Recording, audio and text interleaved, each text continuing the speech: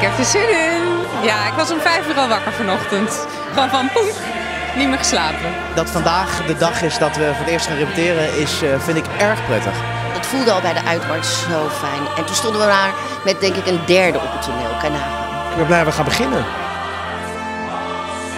We gaan, uh, ik denk deze week vooral heel veel uh, op de muziek zitten.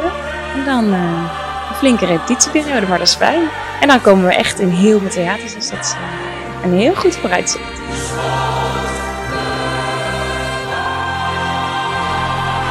Je kan je even helemaal ja, uh, onderdompelen in uh, uh, wat theater is, weet je wel. En, en, dat hebben we nou juist met z'n allen zo lang moeten missen. Hele mooie muziek, een hele mooie vormgeving en een fantastische cast. Een rijke cast.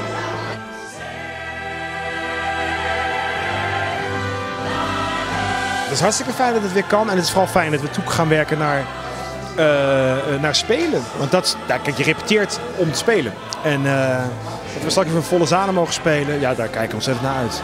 Theaterfans die willen dit dus ook. Hè.